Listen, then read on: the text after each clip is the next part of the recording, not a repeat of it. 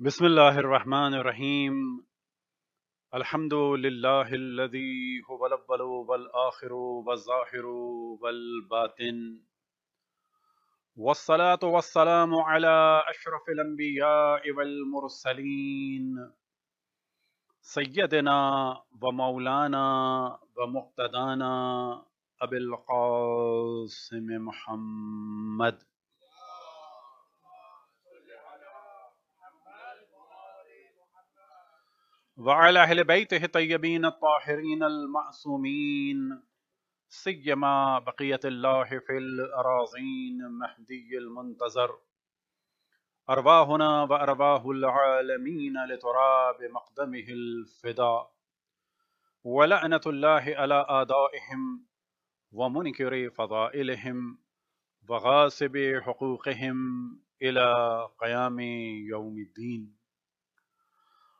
वक़ाल अल्लाह ताला वहुव अस्दक़ुल क़ाइलीन क़ुल ला अस्अलुकुम अलैहि अजरन इल्लल मवद्दत फ़िल क़ुरबा सलात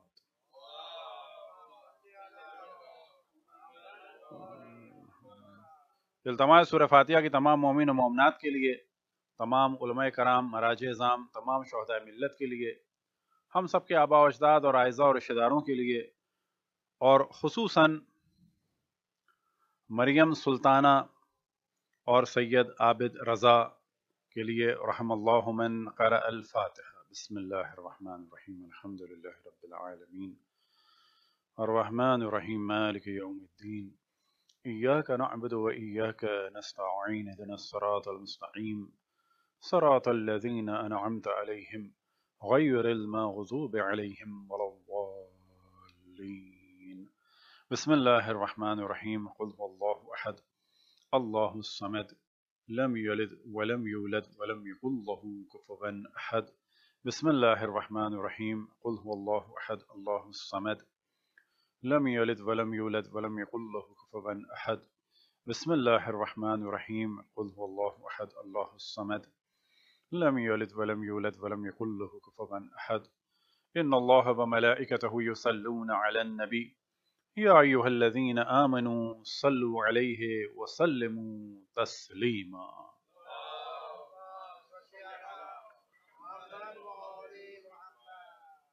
और साथ ही गुजारिश है तमाम मोमिन ममनात की सलामती के लिए और जो बीमार हैं उन सब की शफायाबी के लिए और तमाम मोमिन मोमनात जिस जिस मुश्किल में मुबतला हैं मुश्किल से निजात के लिए और खसूस दुआ सेहत के लिए बरदर मोहतरम नूर शम जैदी की सेहत व सलामती के लिए, बर मोहम्मद वाले मोहम्मद सलावत।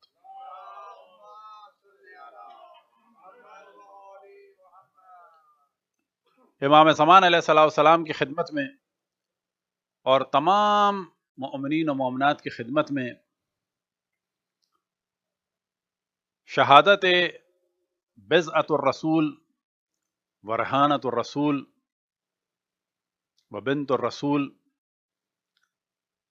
उम अबीहा फ़ातमत ज़हरा सलवातुल्ला वसलाम की ताज़ियत पेश करते हैं जैसा कि आपके इल्म में है कि ये पाँच मजालिस का सिलसिला है और आज पहली मजलिस है तो कुछ गुफ्तगु होगी। सिर्फ़ शहादत जनाब सैदा सलाम के बारे में और अयाम फातिमिया के बारे में। और इंशाला अगर ज़िंदगी रही तो फिर आइंदा जो सिलसिले चलेंगे, उसमें ज़ाहिर है कि सबसे ज़्यादा फोकस मजलूमियत जनाब सैदा सलाम ही को किया जाएगा। और कोशिश यही रहेगी कि मोमिन का अकीदा मज़बूत से मज़बूत हो और जो दुनिया भर में एतराज़ात का सिलसिला रहता है, उससे कभी मुतासर ना हो। क्योंकि कोशिश की जाती है किसी भी कौम और मिल्लत के मोरल को डाउन करने के लिए एतराज़ात के ज़रिए से उनमें इंतशार हो और उनके अकीदे को मुतजलजल किया जाए। और मजालस इमाम हुसैन का या बाल्फाज दीगर आज़ादारी के मासूमिन सलाम का जो असल हदफ है, वो अकीद इमामत को महकम से महकम करना है और उनके दुश्मनों से बारात और इस सूरत में बारात कि उनके नज़रियात कभी मज़हब हक़ अहल बैत में दाखिल ना हो। तो सबसे पहले हम तवज्जो दिलाएँ कि मजलूमियत जनाब सैदा सलाम बिला शक। बयान करने के हवाले से और लोगों के दीन और ईमान पर असर अंदाज होने के हवाले से। बयान करने के हवाले से और दीगर मुसलमानों के ऊपर असरअंदाज होने के हवाले से शहादत इमाम हुसैन से ज़्यादा अहम ये हमने बाद में ताकीद इसीलिए की कि बाज़ दफ़ा बाज़ मोमिन और मोमिनत जो यहाँ बैठे होते हैं, जो बाद में सुनते हैं तो वो मुमकिन है ये सोचें कि शायद हम कह रहे हैं कि ना, इमाम हुसैन से ज़्यादा मजलूमियत जनाब सैदा की ना वाक़ करबला एक एतबार से बहुत ही अहम है। लेकिन हम जिस जाविये से गुफ्तु कर रहे हैं, वाक़ करबला के जो बानी थी, उस जाने भी तवज्जो रहे कि मैं हमेशा तवज्जो दिलाता हूँ कि वाक़ करबला को सिर्फ़ यजीद मलून खबीस से मंसूब करना कि उसकी वजह से हो गया, ये खुद एक नादानी है। सिर्फ़ उसकी वजह से हो गया। उसकी वजह से तो हुआ। लेकिन यह सोचना कि सिर्फ़ उसकी वजह से हुआ यह नादानी है। वाक़ करबला नतीजा है पचास साल के इनहराफ का। पचास साल जो रसूल, आल रसूल से बोग्ज किया गया, उसका नतीजा है। लेकिन इस बोग्ज रसूल, आल रसूल का जो पहला बड़ा जलवा नज़र आया है, वो मख्तल जनाब सैदा में नज़र आया। वो मजलूमियत जनाब सैदा में नज़र आया है। वो मजलूमियत जनाब सैदा से नुमाया हुआ है। लेकिन यह भी जहन में रहे कि यह भी इब्तदा नहीं है। इब्तदा दर हकीकत बुग्ज रसूल अल्लाह से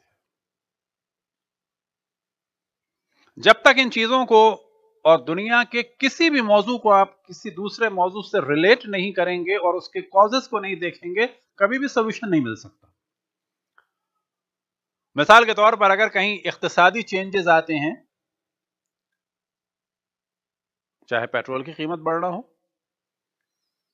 चाहे बैंकों का मार्कअप बढ़ना हो, चाहे घरों की कीमत बढ़ना हो, ये ऐसा नहीं है किसी एक आदमी ने ऐलान किया तो हो गया।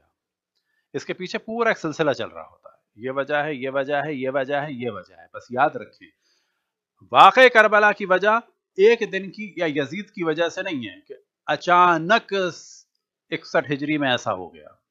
ना। ये पूरे ग्यारह हिजरी तक पहुँचता है। इब्तदा जो है बोख्स अहल बैत की और मसरूमियत अहल बैत की नज़र आती है जनाब सैदा से, लेकिन ये भी इब्तदा नहीं। नज़र आ रही है। इब्तदा दर हकीकत है उन मुनाफिकीन के ज़रिए से कि जिन्होंने अशरफुल अंबिया को भी कत्ल किया। उन मुनाफिकीन के ज़रिए से जिन्होंने अशरफुल अंबिया को हजर हिजियान और बकवास की नस्बत दी। वो शख्स के जिसने अशरफुल अंबिया को हजर हिजियान और बकवास की नस्बत दी, वही शख्स प्रैक्टिकली खड़ा हुआ ख...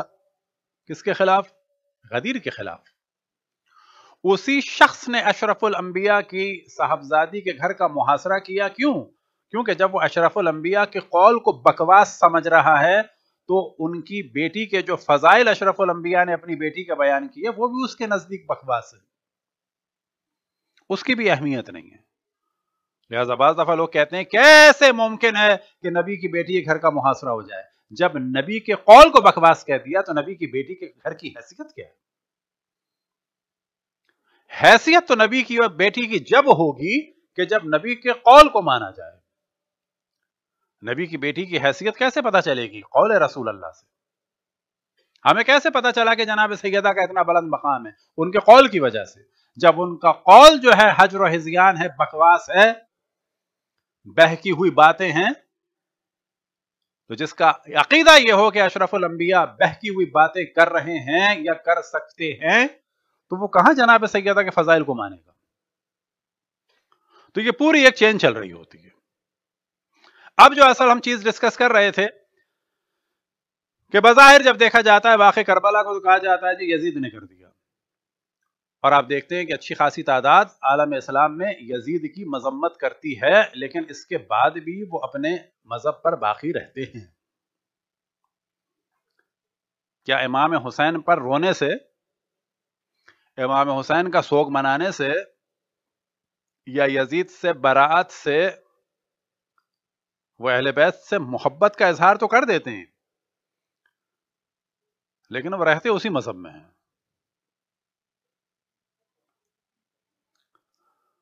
अब अगर जमल वगैरह भी बता दिया जाए तो भी रहते उधर ही हैं। लेकिन याद रखें, असल वाकया कि जिसके बाद जो भी मज़हब हक अहल बैत में दाखिल होता है, वो फाइनल दाखिल होता है। वो जो फाइनल दाखिल होता है, वो शहादत इमाम हुसैन से, या शहादत इमाम हसन से, या जंग जमल से नहीं होता दाखिल। वो फाइनली जब दामन छोड़ता है किसी का तो वो जनाब सैदा की मजलूमियत की वजह से छोड़ता है। सलवात पड़े बर मोहम्मद वाले।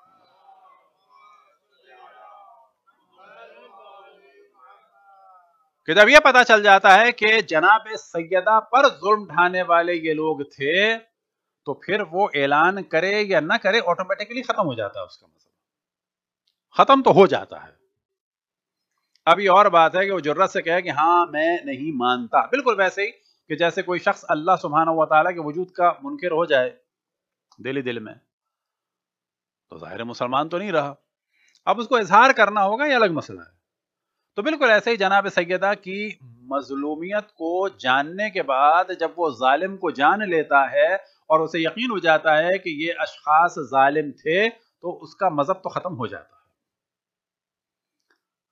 सिर्फ़ ऐलान करना बाकी रह जाता है। यही वजह है कि अयाम फातमिया पर या शहादत जनाब सैदा सलाम पर हमेशा मासूमिन ने बहुत ज़्यादा अहमियत दी।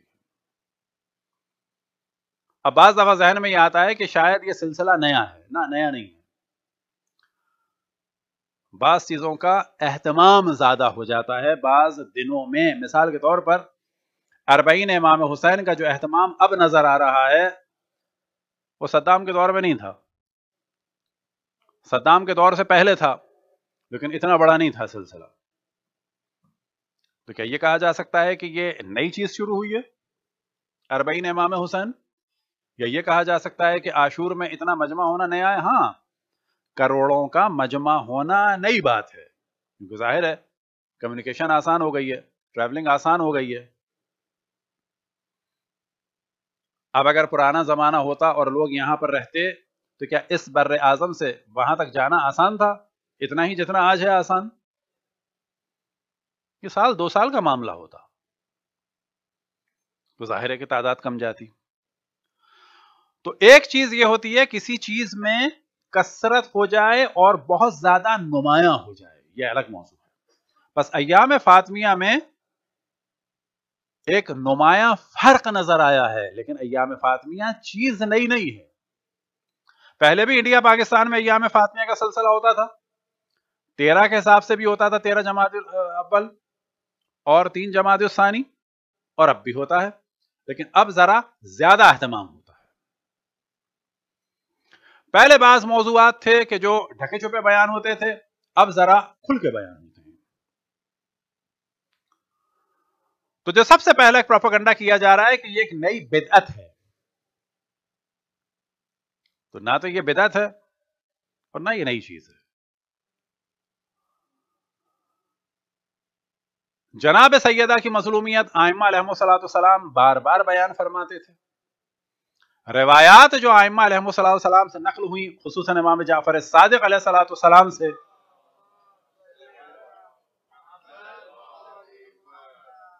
उन्होंने ताकीद फरमाई थी और उस जमाने में मोमिन की रविश ये थी कि जनाब सैदा के खुतबे को याद कराते थे बच्चों को।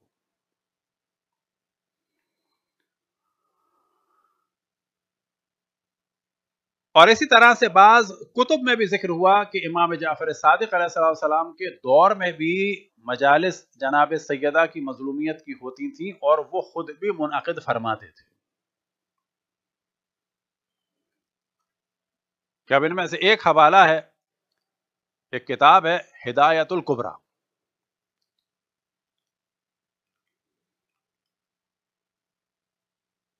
कि जो कदीम तरीन किताबों में से कि जिसमें एक हवाला के इमाम भी इस मजलिस को मुनद फरमाते थे और ये किताब है खजीनी की।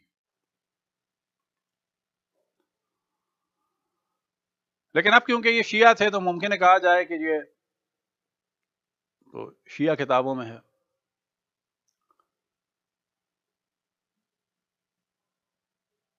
अब देखना ये होगा कि अयाम फातमिया का सिलसिला क्या नया है तो इसको हम हवाले के साथ बयान करेंगे। लेकिन सवाल ये पैदा होता है कि जनाब सैदा की खुद तारीख शहादत क्या है? तो जनाब सैदा की तारीख शहादत की जो मुख्तलिफ़ रवायात हैं शिया और सुन्नी किताबों में, वो तेरह के करीब तो मुसलम है। और बास कैलकुलेशन में थोड़ी बढ़ भी जाती है, लेकिन तेरह तो मुसलम है। लेकिन तमाम तारीखों में जो अहम तरीन मौजू है, वो है शहादत अशरफुल अंबिया। कि अशरफुल अंबिया के बाद कितने दिन के बाद आप दुनिया से रुखसत हुई? ये खुद एक अहम तरीन मौजू है। जबकि बाकी दिगर मौजूद में क्या बयान होता है? महीना और तारीख। जनाब सैदा की शहादत में जो रवायात हैं, उनमें तीन के बारे में तो महीने का भी ज़िक्र है, लेकिन उमूमन जो ज़िक्र है, वो ये है कि आप अशरफुल अंबिया के इतने दिन तक ज़िंदा रही। इनमें जो सबसे कम तारीख है, वो है चालीस दिन की। और उसके हिसाब से तकरीबन आठ रबी अव्वल बनता है, सात और आठ।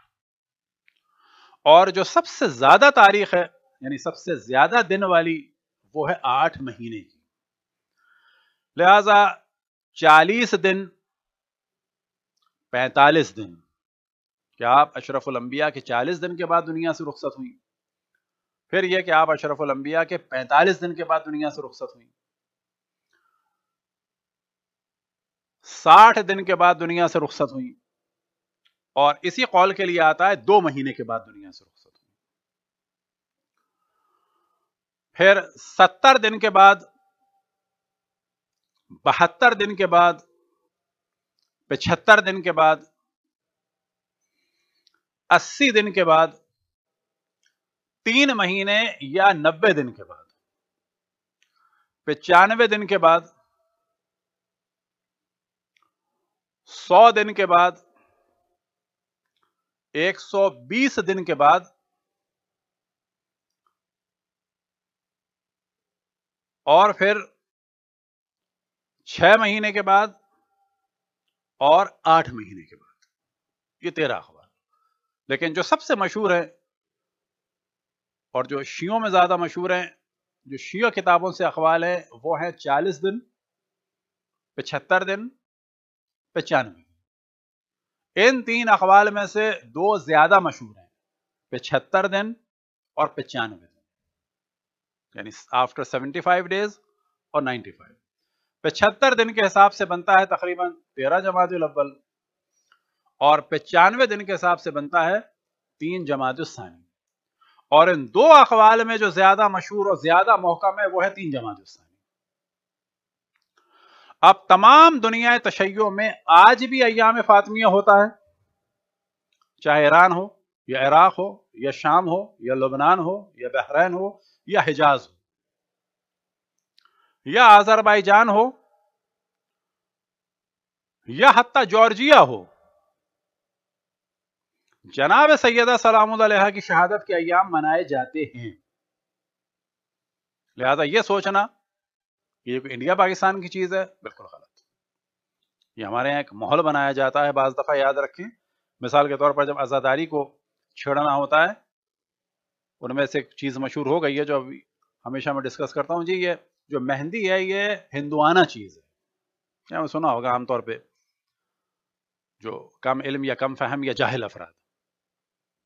और खसूस अगर कोई मौलवी ये बात करे, इसका मतलब है वो ईरान में कभी मजलिसों में गए ही नहीं और ऐसे हैं उलमाबाज, बताऊँ आपको। जो ईरान में बीस बीस साल रहे, मजलिस में कभी नहीं गए। वो आपको ताजुब होगा वो क्यों? क्योंकि माह मुहर्रम में वो पाकिस्तान आ जाते हैं। और माह रमज़ान में भी पाकिस्तानी इंडिया आ जाते हैं। फिर वो रहते हैं अपने इंडियन पाकिस्तानियों के दरमियान। वो कभी ईरानियों के जाते ही नहीं है तो उनको पता ही नहीं चलता। तो ये भी जहन में रखें कि ये जो मेहंदी का सिलसिला है, ये इंडिया से नहीं हमने लिया है। ये असल में ईरान, इराक की चीज़ है। और जितनी वहाँ पर है, हमारे यहाँ उसकी एक फ़ीसद भी नहीं है। जो हमारे लोगों को लगता है मेहंदी ज़्यादा हो गई, ना। बाद में भी हमसे कोई मांगना चाहे तो हम उसको गूगल सर्च में दिखा देंगे। आप गूगल अरबी में जाके लिखें या फारसी में जाके लिखें, अकद कासिम। या लिखें औरूसी कासिम। या लिखें हना। ये सब हिना कहते हैं, उसको हना कहते हैं। हन्ना। तो हना लिख दें। हना कासिम। तो आपको इतनी वीडियो, इतनी तस्वीरें नज़र आएँगी, इतनी मेहंदी की चीज़ें नज़र आएँगी कि आपका दिमाग चकराएगा कि ये तो आज तक हमने कभी सोचा नहीं था कि ऐसी होती। तो बिल्कुल यही प्रोपागंडा किया जा रहा है कि जी, कहीं हमारे दरमियान से गुफ्तु निकलती है कि जी अयाम फातमिया में शिद्दत हो गई अयाम फातमिया जो है वो, उसको कम करने की कोशिश की जा रही है। दूसरी जान से दुश्मन के यहाँ से आवाज़ निकलती है। अब दुश्मन के यहाँ से आवाज़ निकलती है, वो तो उसको हक है। क्योंकि अयाम फातमिया के माना ये हैं कि जहाँ पर अब यजीद खड़ा है कुछ साल के बाद, इस जुल्म को उठाने वाले वहीं खड़े होंगे। तो वो तो अगर डर रहे हैं याम फातमिया से तो उनको तो हक है। और ये डर ऐसा है कि अगर आपको ताजुब हो कि 1980s में ये होता था कि जंग अखबार में जाके इश्तेहार दिया जाता था शहादत हज़रत फातिमा का। पैसे ले लेते थे, रसीद दे देते थे और इश्तेहार आता था वफात हज़रत फातिमा। क्यों? क्योंकि लफ्ज शहादत के बाद इंसान चौंकता है कि शहादत यानी किसी ने मारा है। तो मारने वाला कौन था उस जमाने में? कौन हो सकता है? क्यों मारा होगा? किस लिए मारा होगा? इसका ज़िक्र है या नहीं है? तो जंग अखबार वाले और बाज दीगर अखबार वाले कोशिश करते थे कि लफ्ज शहादत ना हो, बल्कि क्या हो? वफात हो, रहलत हो। अब ज़ाहिर है उसके बाद कोई जाके बहस भी नहीं करता था कि बाबा पैसे तो हमने शहादत के दिए थे। तो मैं वहाँ भी कहता था कि अगर कोई मजलिस ना कर सकता हो, यानी दो ऑप्शन हो, या मजलिस कर ले या इश्तेहार दे दे तो मैं पाकिस्तान में कहता था, इश्तेहार दे दो, बेशक मजलिस ना करो। फ़र्ज़ करें, पैसे नहीं है, सिर्फ़ मजलिस करो। खाने के पैसे भी वहाँ लगा दो। घर में एक नोहा रख लो। वजह क्या है? कि लफ्ज शहादत जो है, वो इस्लाम की ज़िंदगी का सबब है। सलवात पढ़े पर मोहम्मद वाले।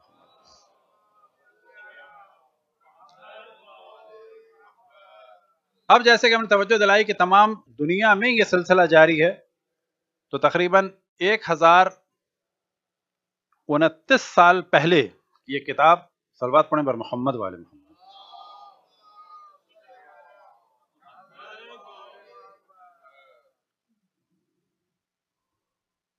सलवात पढ़े पर मोहम्मद वाले में।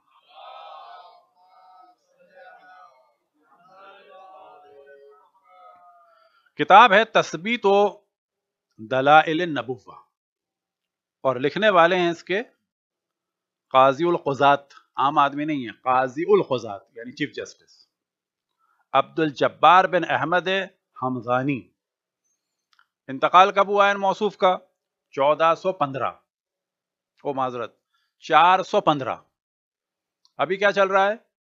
फोर्टीन फोर्टी फोर यानी तकरीबन कितने साल पहले? एक हज़ार उनतीस साल पहले।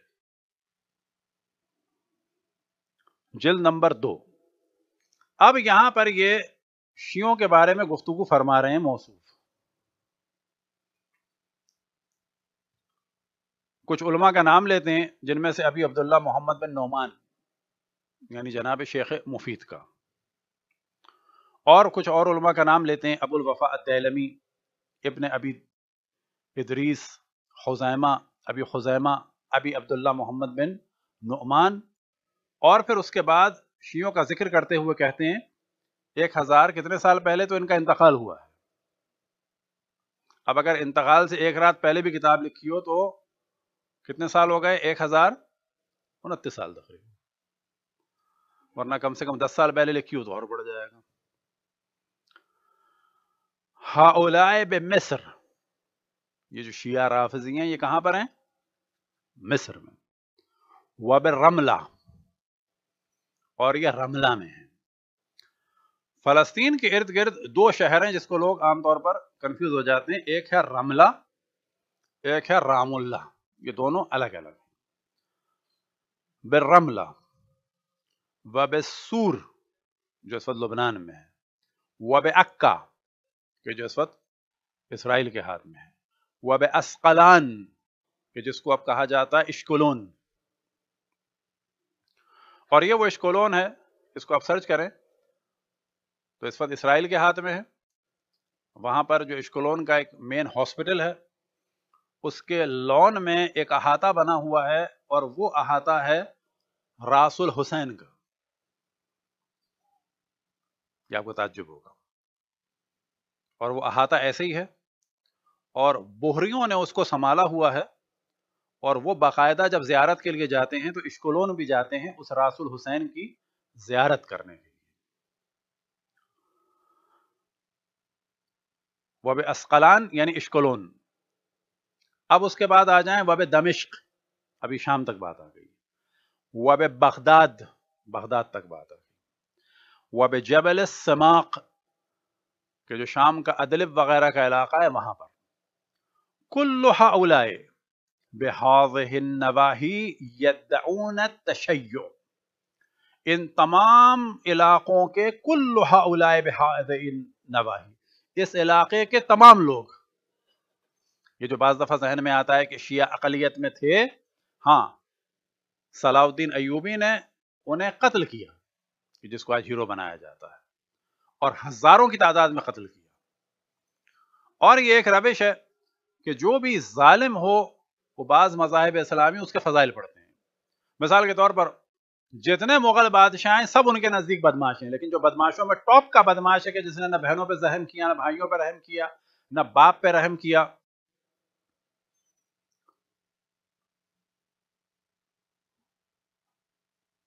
और बकौल कहने वाले के ज़ाहिर में नाम भूल जाता हूँ ज़ाहिर सादत साहब का है, मिंटो साहब का है, किसका? कि इबन इंशा का। ये इन दोनों में हमेशा कन्फ्यूज़न रहता है कि ये इतना अच्छा आदमी था औरंगज़ेब, ना इसने कोई अपना भाई छोड़ा, ना नमाज़ छोड़ी। तो आप देखें, क्योंकि वो जालिम था, वो उनके लिए हीरो है। आज भी इंडिया में उसका टीवी पे बार बार दिफा किया जाता है। वजह क्या है? क्योंकि उसने हिंदुओं पे भी जुल्म किया, सिखों पे भी जुल्म किया सादात पे खसूस जुल्म किया। अब क्योंकि जुल्म किया सबसे अच्छा?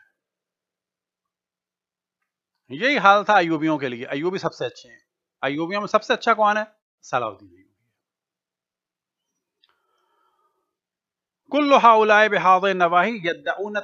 इस इलाके के जो तमाम लोग हैं, वो शीयत का दावा करते हैं और किसका दावा करते हैं? मोहब्बत रसूल अहल बैत ही मोहब्बत रसूल अहल बैत का दावा करते हैं।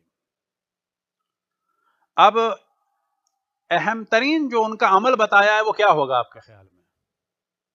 यानी एक हज़ार, कम से कम उनतीस साल, पैंतीस साल, चालीस साल पहले अहम तरीन अमल जो सबसे पहला अमल है क्या है?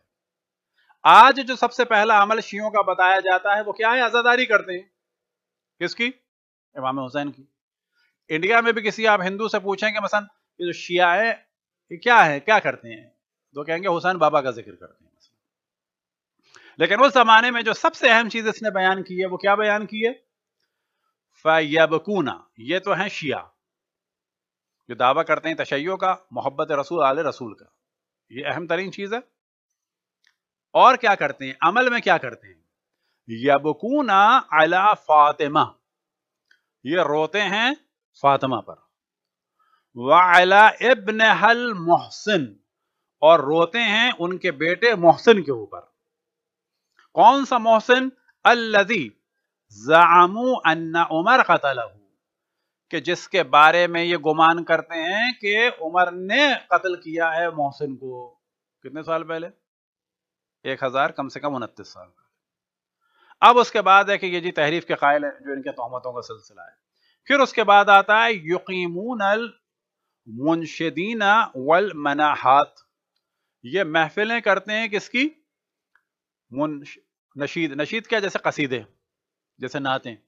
और क्या चीज़? नौहे। फिर उसके बाद अगले पहरे में कर, ज़िक्र करता है कि इनके वशियों में क्या होता है? सुम्मा या खजून फ़ी मजलिसन युसम्मा मजलिस ताजिया। इसी तरह से ये लोग मुनद करते हैं। मजलिस उस मजलिस को क्या कहते हैं? मजलिस ताजिया। ताजिया से क्या मुराद? वही ताजियत। वो ताजिया वो नहीं जिसको बनाया जाए। वो एक अलग नया नाम है। मजलिस ताजिया, यानी ताजियत के लिए, यानी अहल बैत की ताजियत पेश करते हैं। तो अब ये जहन में रखें कि एक हज़ार कम से कम उनतीस साल, तीस साल, चालीस साल, पचास साल पहले जो अहम तरीन शीयों की सिफत थी, वो हज़रत फ़ातिमा सलाम और हज़रत मोहसिन सलाम की शहादत पर रोना था और मजालिस का मुनद करना था। सलवात पढ़ने पर मोहम्मद वाले।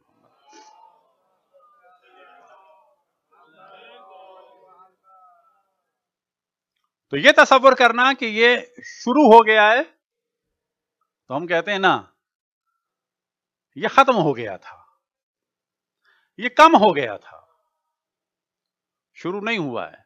यानी शियों की जो अहम तरीन अलामत थी उस जमाने में, वो इमाम हुसैन की आज़ादारी से ज़्यादा जो अहम तरीन अलामत थी, वो हज़रत फ़ातिमा सलाम की आज़ादारी थी। तो कहा जाएगा ये ग्राफ इस बाज़ इलाक़ों में मुश्किल की वजह से कम हो गया था। ख़त्म नहीं हुआ था। ये नई चीज़ नहीं हुई है। अब दोबारा शुरू हुआ है और जैसा कि हमने तवज्जो दिलाई कि जनाब सैदा सलाम की जो मजलूमियत है, ये अहम तरीन मजलूमियत है। और एक बहुत बड़ी तादाद जब आई है मज़हब हक अहल बैत में इसी की वजह से आई है कि जिनमें से एक मशहूर तरीन वाक़ तो खुद खुदा दर्जात बुलंद से बुलंद फरमाए इस्माइल देवबंदी साहब। का वो जो मज़हब हक अहल बैत में दाखिल हुए, उनकी भी अहम तरीन वजह यही थी। और वो भी जो आखिर में मनाजरा करने वाले थे, किससे मनाजरा करने वाले? शियों से मनाजरा करने वाले थे।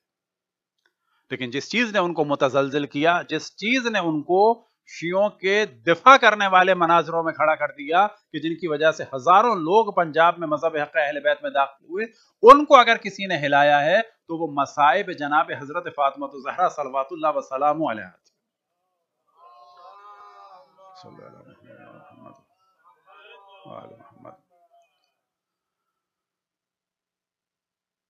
और उन्हीं मसाइब में से एक वाकया जो खुद मैंने देखा था और बाज़ दफ़ा उसको मैंने बयान भी किया कि कराची में एक हमने निकाह पढ़ाया जो बलोच फैमिली का था। तो जाने के बाद हमें लगा कि ये तो नहीं है, महाजिर नहीं है, या पंजाबी नहीं है, ये बलोच हैं। तो हमें ज़रा ताजुब हुआ कि बलोचों में आमतौर पर इतने शिया नहीं होते। तो जो ले गए थे साहब, मैंने उनसे कहा कि ये तो बलोचिस्तान में सेट हैं, ये तो नहीं लग रहा है कि वहाँ जाके सेट हो गए हों तो बलोच फैमिली कैसे? तो बताया कि इनमें ये लोग सबके सब शिया हुए हैं और अहम तरीन वजह क्या थी? अगर खुलासतन बयान किया जाए जनाब सैदा की मजलूमियत। लेकिन ये कहाँ से सिलसिला शुरू हुआ? वो यहाँ से सिलसिला शुरू हुआ कि इनके ख़ानदान के एक शख्स ने किसी से बात करते हुए कहा कि मेरे दादा ये कहते हैं। अब वो उनके ख़ानदान के बड़े थे दादा थे या दादा के भाई थे या कुछ भी थे बिलाखिर बुज़ुर्ग थे। क्योंकि इनके यहाँ ट्राइबल सिलसिला है। कबीले के, वो बड़े होंगे ख़ानदान के। अभी भी ये सिलसिला अरबों में भी चलता है कि वहाँ पे कहते हैं मसन सैदुल अशीरा हमारे ख़ानदान का ये बड़ा है। तो जब इन्होंने कोर्ट किया अपने ख़ानदान के बड़े के बारे में कि मेरे दादा ये कहते हैं तो सामने जो था, कोई मोमिन था और मोमिन को ऐसा होना चाहिए कि सामने वाले को किसी भी तरीके से अहल बैत की जानब दावत दे। लेकिन इलमी तरीके से, अखलाक के दायरे इन साहब ने उसको शौक लगाया कि तुम्हारे दादा ये कहते हैं मुमकिन झूठ बोल रहे हो कोई है गवाह। तो उसको तुमसे बुरा लगा कि तुम मेरे मसलन ख़ानदान के कबीले के बड़ों के बारे में ये बात करोगे। मेरे दादा ने कह दिया कह दिया। तो उसने कहा, तुम क्या बात कर रहे हो मेरे दादा के बारे में कि वो झूठ बोलेंगे? क्या हुआ? क्या झूठ नहीं बोल सकते? जब हज़रत फातिमा से गवाह मांगा जा सकता है, उनके बारे में एहतमाल दिया जा सकता है कि वो झूठ बोल रही होंगी। माजल्ला माजल्ला तो तुम्हारा दादा क्या है भाई? यहाँ से उसने उसे शौक लगाया। उसने क्या मतलब? क्या हज़रत फातिमा की बात पर किसी ने शक किया था? क्या हज़रत फातिमा ने कुछ कहा था और किसी ने मानने से इनकार किया था? क्या हज़रत फातिमा को झूठा समझा गया था?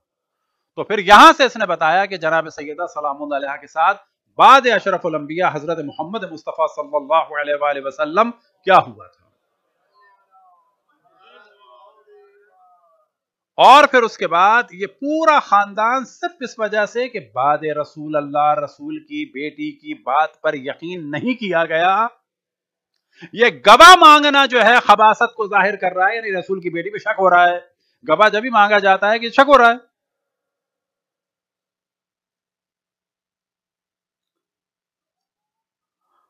तो यहाँ से पता चला कि हम सब का काम है कि लोगों को हमें बेदार करना है इलमी तरीके से।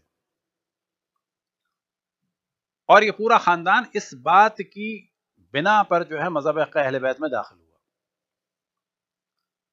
अलबत् एक वाक़ जो वाक़ मुझे भी अच्छा लगता है और एक शख्स शख्स से मैंने बड़ा मिलना चाहा, मुलाकात नहीं हो पाई। कि अल्लाह उसकी तोफ़ीक़ात में इजाफा फरमाए।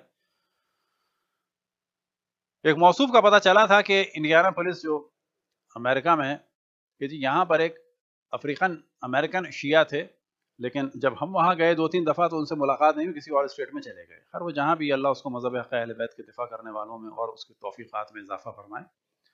और उसके शिया होने की दास्तान जो है वो बड़ी लतीफ़ है। इससे पहले किसी ने सुन्नी मुसलमान किया और वो थे फ़लस्तीन के सल्फ़ी। अब ये मौसूफ मुसलमान हो गए। अब इसे कुछ नहीं मालूम। एक दिन इसने अपने शेख से इंतहाई मासूमाना सवाल कर दिया। और वो सवाल ये था कि Sheikh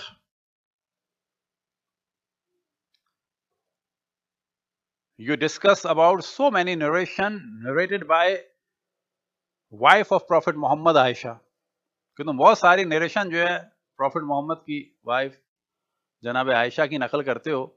लेकिन तुम कोई भी नरेशन जो है उनकी बेटी फातिमा की नहीं नकल करते। ये सुनना था कि शेख तो आग बगूला हो गया नास भी था ज़ाहिर। और एकदम से इस पे नाराज़ हुआ और नाराज़ होने के बाद कहता है, क्या तुम शियों के साथ बैठते हो? वो कहता है, शिया क्या होते हैं? और इसी बुनियाद पे उसने तहकीक शुरू की और शिया हो गया। वो कहता है कि उस सल्फी शेख ने मुझे पहली दफ़ा बताया था कि शिया क्या होते हैं। वरना उससे पहले मुझे नहीं पता था कि शिया क्या होते हैं। अब आप देखें कि वो चिड़ गया इस बात पे कि ये तुमने क्यों कहा कि रसूल की बेटी की रिवायात तुम क्यों नहीं नकल करते? इतनी सी बात। क्या किसी शिया ने उससे कहा था ना? लेकिन क्योंकि उसमें कॉमन सेंस था उसने सिर्फ़ इतना सवाल किया। उससे कुछ नहीं मालूम था कि उनके साथ जुल्म हुआ, ज्यादती हुई, किसने की, किसने नहीं की तभी तौर पर दुनिया से कहीं, या उन्हें कत्ल किया गया, रसूल की फैमिली के साथ क्या हुआ, कुछ नहीं मालूम था। सिर्फ़ इतना मालूम था कि उनकी बेटी थी तो कभी कभी उनकी भी कोई रवायत बता दिया करो। अब आप तस्वुर करें, यहाँ से आप सोचें। कि इस आदमी को कुछ नहीं मालूम था और जनाब सैदा की रिवायत के बारे में उसने तलब किया तो ये सल्फी, फलस्तीनी, शेख, आग बगोला हो गया। तो इनके लिए कितना सख्त होगा कि जब हम रसूल की आल पर होने वाले जुल्म को बयान करें।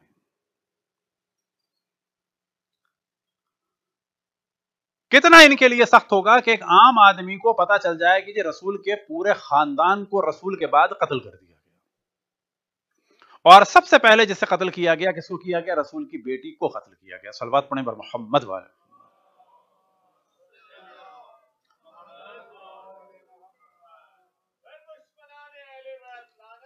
बेशुमार। अब शिया सुन्नी रिवायात के मुताबिक, जनाब सैयदा, वो नेमत थी किसके लिए? नबी के लिए। हाँ। सिर्फ़ नबी, ना रसूल। सिर्फ़ रसूल, ना औलुल अजम रसूल। सिर्फ़ औलुल अजम रसूल, ना खातमुल अंबिया के लिए। क्या वो सिर्फ़ खातमुल अंबिया थे? ना, वो रहमतुल आलमीन थे। रहमतुल आलमीन को जब जनाब सैदा की सूरत में अल्लाह सुबहाना वाली ने नेमत अता फरमाई तो वो तमाम आलमीन के लिए जो रहमत थे, उनके लिए जो थे और हैं, उनके लिए अगर कोई खैर कसीर करार पाई तो वह जनाब सैदा की जात थी। अशरफुल अंबिया कोई आम इंसान नहीं है। नबी नबी भी नहीं, रसूल रसूल भी नहीं सिर्फ़। ओलुल अज़म भी नहीं, ख़ातमुल अंबिया। सिर्फ़ ये सिफत नहीं, रहमतुल आलमीन अब रहमतुल आलमीन के लिए जो खैर कसीर हो छोटा मोटा खैर भी नहीं। खैर कसीर हो, वो है फातिमा। और हुक्म क्या हुआ? बिस्मिल्लाहिर्रहमानिर्रहीम, इन्ना कल कौसर फ़सल रब का बनहर कि ए मेरे हबीब, हमने तुम्हें खैर कसीर से नवाजा। अब ये खैर कसीर से कब नवाजा है? नबूवत से पहले नहीं। ऐसा नहीं है कि कुरान का ये लबो लहजा हो कि तुम्हें नबूवत से पहले हमने कुछ दिया था। ना। नबी रसूल ओलुल अज़म ख़ातमुल अंबिया अशरफुल अंबिया रहमतुल्लामीन रहमतुल्लामीन को ये तोहफा दिया लेकिन कहाँ पर दिया रहमतमीन को भी जो तोहफा दिया विलादत इस ज़मीन पे जनाब सैदा की हुई लेकिन जनाब सैदा का जो नूर था और जो जनाब सैदा के जिस्म की इब्तदा थी वो हुई अर्श इलाही पर।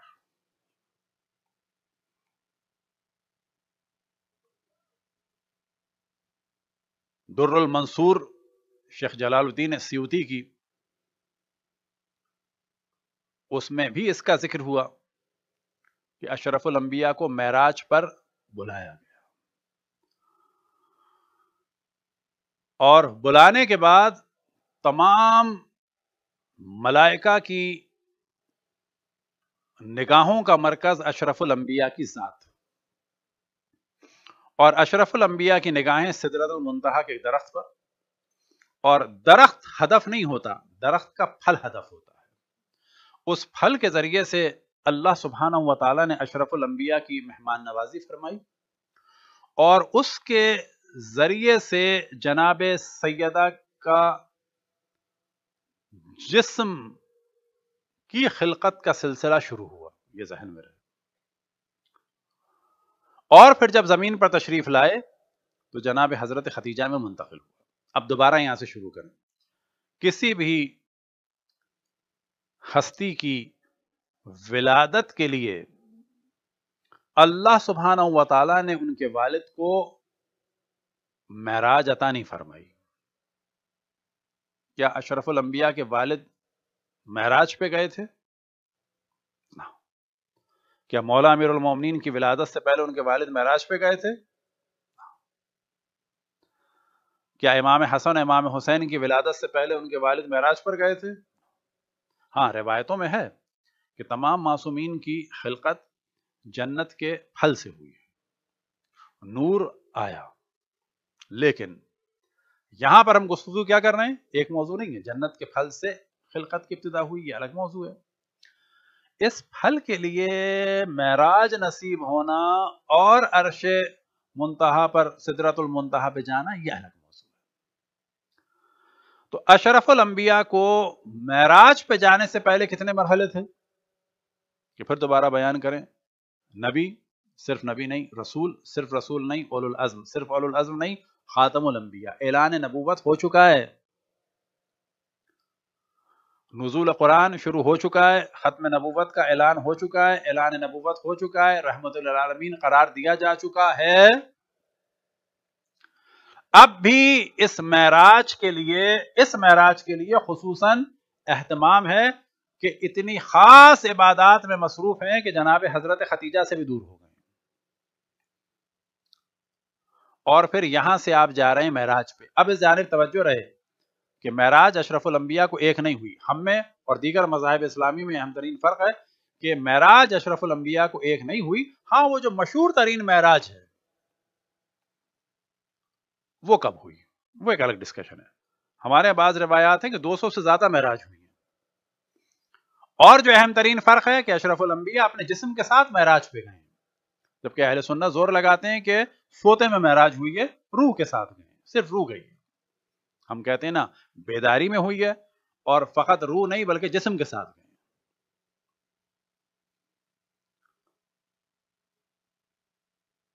अब ये जो महराज है, इस एक महराज के बारे में कहा जा सकता है कि ये जो 27 रमज़ान वाली तारीख है, ये आखिर रमज़ान वाली तो जनाब सैदा का जो नूर मिला है वो शायद किसी आखिर रमज़ान वाली महराज में मिला है। क्योंकि महराज कई हैं। रमज़ान से शब्बाल कितने महीने हो गए? शब्बाल एक, जिकादा, जिलहज, मुहर्रम, सफ़र रबी अव्वल रबीसानी जमात अव्वल जमात सानी की बीस। यानी पूरे नौ महीने बाद जनाब सैदा की खिलकत हुई। बस जनाब सैदा की इस दुनिया में जो विलादत हुई है, जो आप दुनिया में तशरीफ़ लाई हैं, इससे नौ महीने वाली पहली जो महराज थी, उसमें जनाब सैदा सलाम का नूर भी और उनका जिसम भी महराज पर रसूल अल्लाह सल्लल्लाहु को अता किया गया। सलवात पढ़े पर मोहम्मद वाले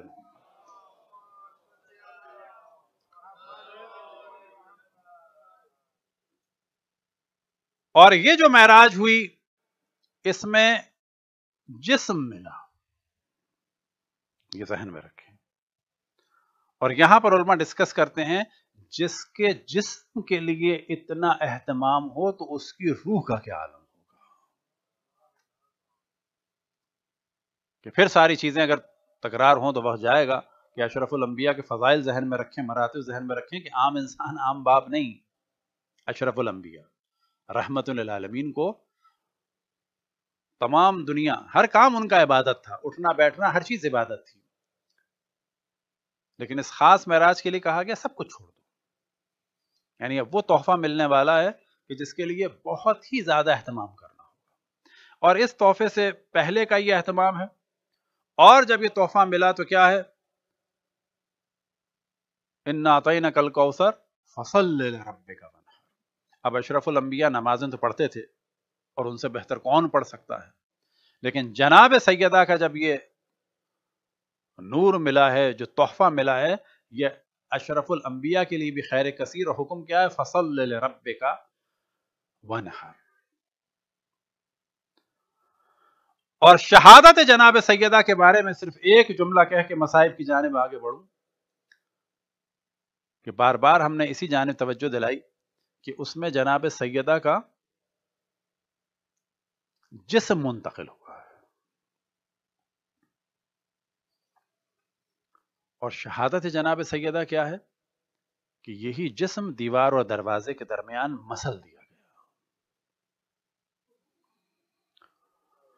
खुदावन तबारक वाली की तमाम मलाइका की तमाम अंबिया की तमाम औसिया की तमाम मोमिन जन इंस की लानत हो दुश्मनान मोहम्मद व आल मोहम्मद पर खुदावन तबारक वाली तमाम मलाइका, तमाम अम्बिया तमाम ओसिया तमाम मोमिन, जन का दरूद सलाम हो, मोहम्मद व आल मोहम्मद पर।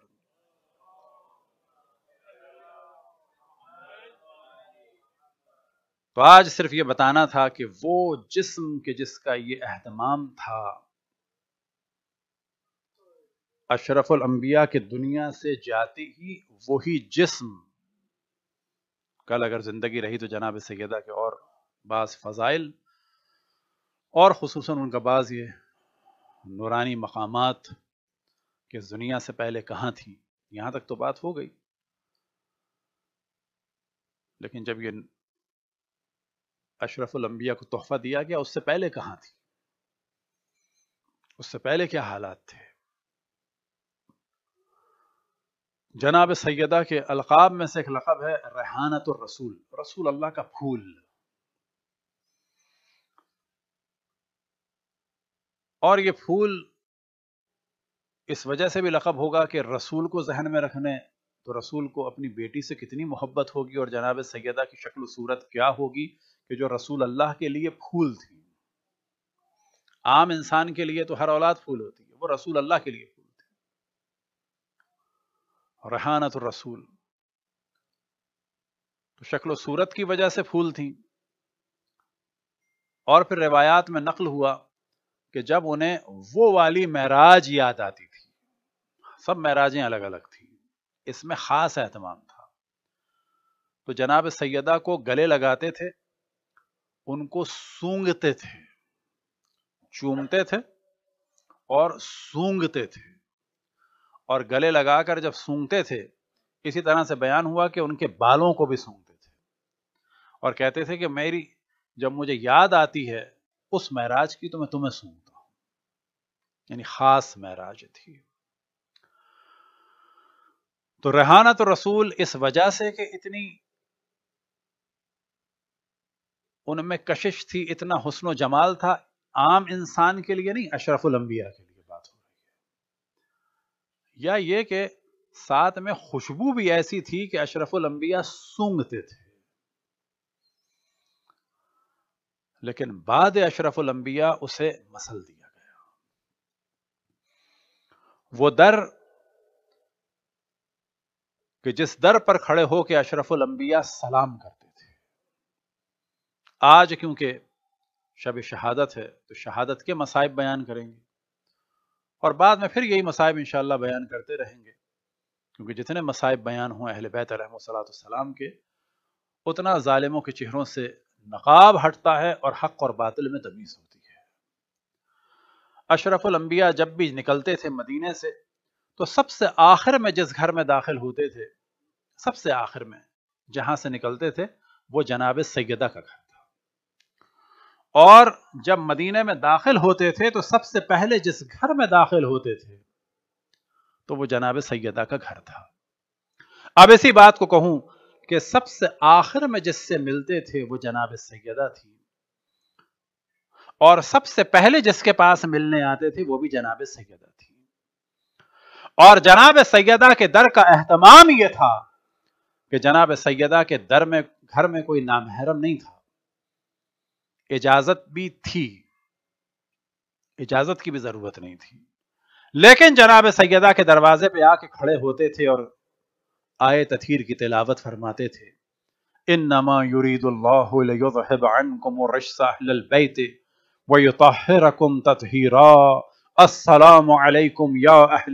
नबुब्बा और बार बार ऐलान फरमाते थे कि अहले बैत नबुवा ये और फिर जाते जाते ऐलान फरमाया इन किताब अल्लाह व इतरत अहले बैती, मा इन बिहिमा लन तज़ल्लु अबदा, हत्ता यरद हौज मैं तुम्हारे दरमियान दो गिरा कदर चीज़ें छोड़ के जा रहा हूँ। एक किताब खुदा, दूसरे अहले बैत, जब तक तुम इन दोनों से वाबस्ता रहोगे, कभी भी गुमराह ना होगे, यहाँ तक कि ये दोनों मेरे पास हौज कौसर पर पहुँच जाएँगे। लेकिन बाद अशरफ अंबिया, कुरान पर भी जुल्म किया गया। कभी नौ के नेजा पे चढ़ाया गया तो कभी तीर बरसाए गए तो कभी कुरान नातक पर जुल्म किया गया तो कभी अहले बैत पर जुल्म किया गया। और अहले बैत पर जो जुल्म का सिलसिला शुरू हुआ तो वह जनाब सैदा से शुरू हुआ रहानत और रसूल रसूल के फूल को दीवार और दरवाजे के दरमियान मसल दिया गया। हाँ मोमिनो, एक वक्त आया बाद अशरफुल अंबिया। कि एक शकी आया और एक शख्स की बायत के लिए कहा कि जितने लोग इस घर में हैं, घर से बाहर निकल आए, वरना घर को आग लगा दूँगा। कल अगर ज़िंदगी रही तो इस रिवायत को भी हवालों के साथ पढ़ेंगे। अल्हम्दुलिल्लाह, अब दुनिया यहाँ तक आ गई है, कहते हैं कि हाँ, जलाने की धमकी तो दी थी, लेकिन जलाया नहीं था। नहीं, जलाया भी था। लेकिन अगर तुम यहाँ तक भी मान गए हो कि एक शख्स ने रसूल की बेटी के घर को तमाम मकीनों के साथ जलाने की धमकी दी थी। तो सवाल ये पैदा होगा कि अशरफुल अंबिया की बेटी को धमकी देने के बाद कोई मुसलमान रह सकता कि इसी मसाइब के दौरान मैं एक मिसाल में देता हूँ कि आज किसी भी मुतमद्दिन माशरे में किसी की बेटी को धमकी देने के बाद वो भी जलाने की। क्या वो बाप इस धमकी देने वाले से राज़ी रहेगा? क्या उस मुतमद्दिन माशरे के लोग इस धमकी देने वाले को इंसान समझेंगे या वहशी समझेंगे? अजरकुम तो एक शख्स ने कहा कि जितने लोग इस घर में हैं, घर से बाहर निकल आए, वरना घर को आग लगा दूँगा अब ये वो दर है कि जिस दर के बाहर से जनाब सैयदा को आवाज़ आती थी अपने बाबा की तिलावत की, कौन सी तिलावत? आए तथीर की तिलावत। इन नमा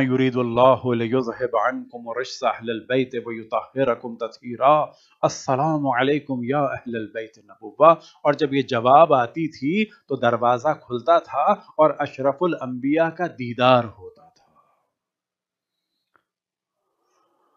और साथ ही अशरफुल अंबिया को खुशबू आती थी अपने फूल की, किसकी? फातमत जहरा की। और जनाब सैदा को खुशबू आती थी अपने बाबा की। वही खुशबू कि जिसका ज़िक्र बार बार हदीस किसा में होता है। इन्नी अशम इंद के राहतन सबको खुशबू आती थी रसूल अल्लाह की।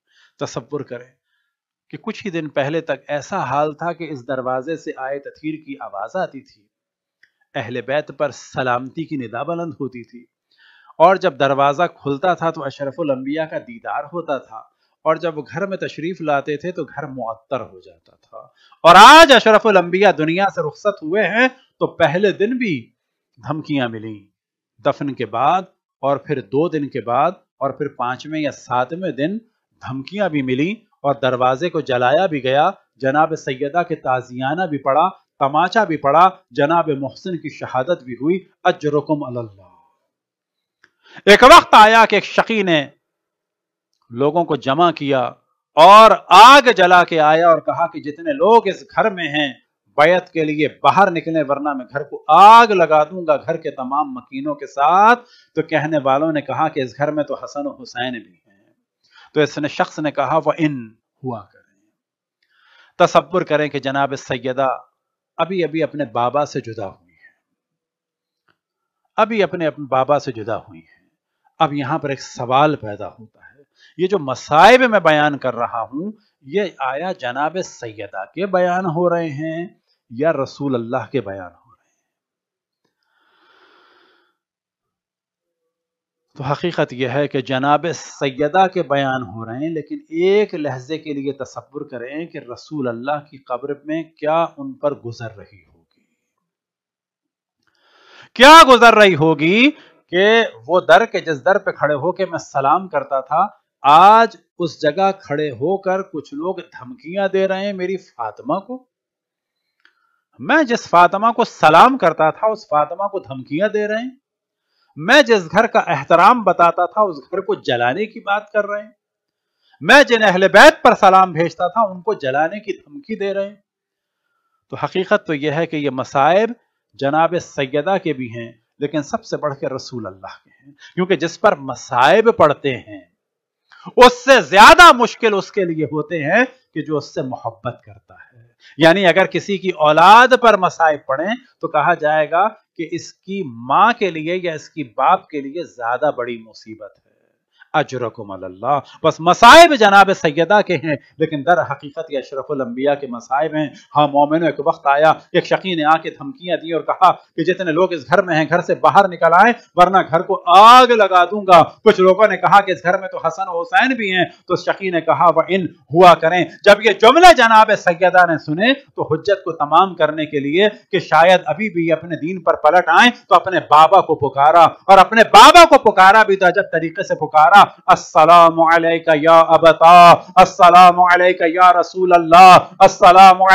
हबीब अल्लाह शायद ये बताना चाहती थी कि सलाम हो आप पे मेरे बाबा, सलाम हो आप पे रसूल अल्लाह सलाम हो आप पे हबीब अल्लाह और साथ में ये बताना चाहती थी कि तुम जैसे धमकी दे रहे हो, वो अपने बाबा को पुकार रही हैं। वो फकत बाबा नहीं है, बल्कि रसूल अल्लाह हैं। वो हातमुल अंबिया हैं, वो हबीबुल्लाह है। तुम क्या कर रहे हो? और जितने लोग खामोश हैं। वो भी ये जान लें कि किसकी मजलूमियत पे खामोश हैं। क्योंकि मासूमीन की हमेशा ये रविश है कि वो अपने जुमलों के ज़रिए से हुज्जत को तमाम करते हैं कि अगर कुछ लोग गुमराह हो भी गए हैं तो शायद पलट के आ जाए। यही वजह थी कि आशूर के दिन भी इमाम हुसैन बार बार हुज्जत को तमाम करते थे। क्या तुम जानते हो कि मैं कौन हूँ? क्या तुम्हें मालूम है कि मैं कौन हूँ? मैं किसका नवासा हूँ? किसका बेटा हूँ? अजरकुम अल्लाह यही काम जनाब सैयदा ने किया कि जब अपने बाबा को पुकारा, अस्सलाम या बता,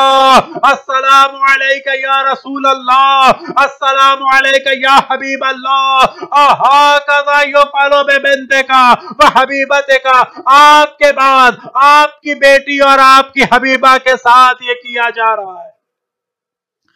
अभी ये जुमले खत्म ना हुए कि शकी ने हमला किया और रसूल अल्लाह का फूल कि जिसे वो सूंघते थे, जिसे वो अपने सीने से लगाते थे, वो दीवार और दरवाजे के दरमियान मसल के रह गया। जनाब मोहसिन कत्ल हो गए। अब दिल ये कहता है कि जनाब सैदा ने इन मसाइब के लिए अपने बाबा को न पुकारा, क्योंकि वो जानती थी कि अगर ये मसाइब बयान करके बाबा को पुकारूं तो मेरे बाबा भी खबर में तड़प के रह जाएँगे।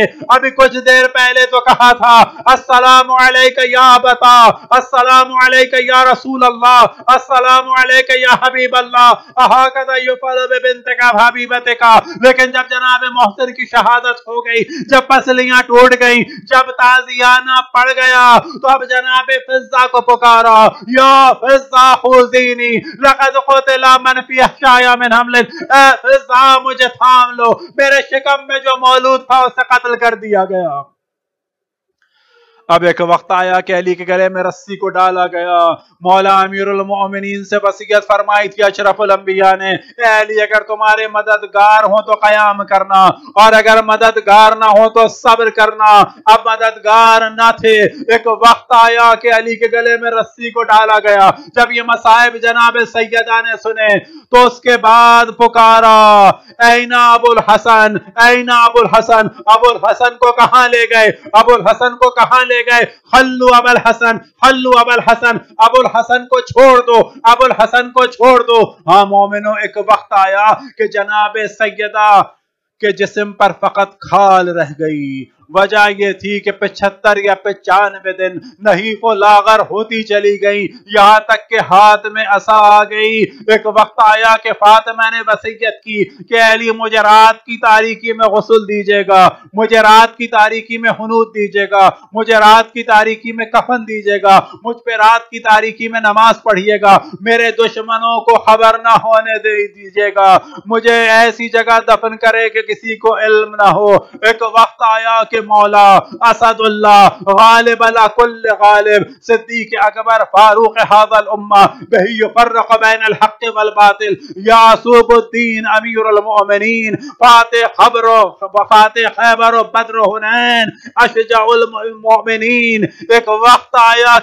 कि आवाज़ बुलंद हो गई।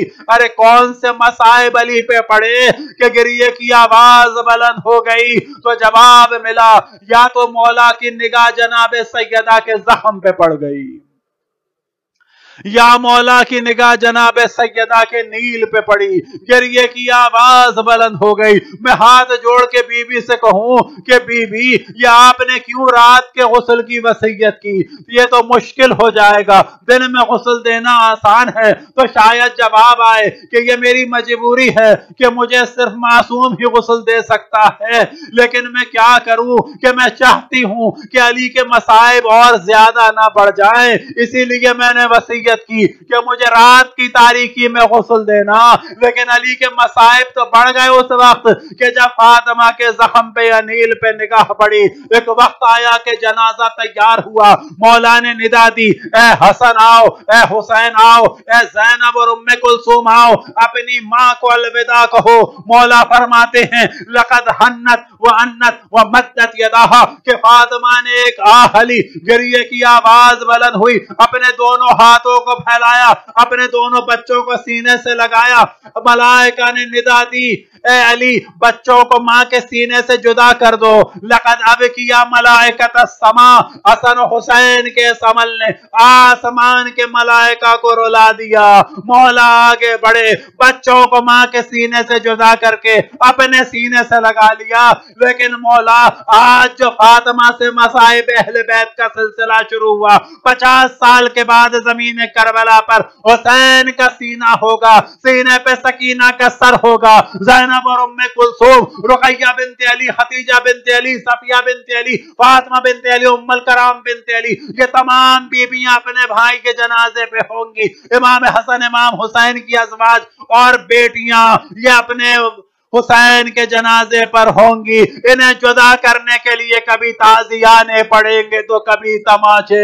एक वक्त आया हसन हुसैन को माँ के सीने से जुदा करके अपने सीने से लगा लिया। बस मसाइब खत्म हो गए। वो जो हमने तवज्जो दिलाई थी कि ये मसाइब जनाब सैयदा के हैं, या रसूल अल्लाह के हैं, या मौला अमीर के हैं, या इमाम हसन इमाम हुसैन के हैं तो दिल ये कहता है कि जनाब सैयदा के मसाइब तो अब खत्म खत्म हो गए, लेकिन अभी खत्म ना हुए। ये मसाइब ता कयामत रहेंगे, जब तक जनाब सैयदा से मोहब्बत करने वालों पे जुल्म होता रहेगा। लेकिन दूसरी जानब ये मसाइब रसूल अल्लाह के थे, ये मसाइब मौला अमीर के थे, ये मसाइब इमाम हसन, इमाम हुसैन, जनाब जैनब और जनाब उम्म कुलसूम के थे। अब मसाइब में से गजब मुसीबत आई कि वो फातिमा, के जिसको सही और सालिम हाथ फातिमा काली के हाथ में दिया था। मौला अमीर के लिए बड़ा सख्त मरहला है कि रसूल ने मुझे फातिमा सही और सालिम दी। लेकिन आज मैं रसूल को ये फातिमा टूटी हुई पसलियों के साथ पलटा रहा हूँ। बस मसाइब खत्म हो गए। एक तस्वुर करें कि रवायतों में नकल हुआ कि जब मौला ने फातमा को कब्र में उतारा तो दो हाथ नमूदार हुए कि जिन्होंने फातिमा अपने हाथ में ले लिया। ये हाथ रसूल अल्लाह के थे।